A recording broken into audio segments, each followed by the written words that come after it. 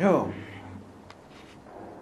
Kello tulee puoli kahdeksan ja tästä se uuden vuoden vietto sitten lähtee ja tossa justiin juonut, juon tässä tämmöistä koffia, se ei varmaan tähän videoon näy. Otetaan hy- hörpyt tästä ensiksi.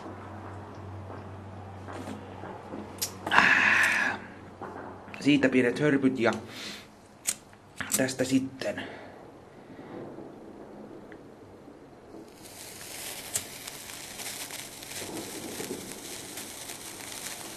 tästä sitten uudelle vuodelle sitten pienet. Ja tästä sitten otetaan sitä koffia ja näin se lähtee se uusi vuosi käyntiin sitten tässä, täälläkin sitten.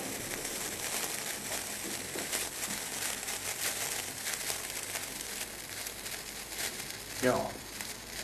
Eli tässä tuli tämmönen video näihin kuviin, näihin tunnelmiin täältä tähän. Nyt se alkaa uuden vuoden piletys.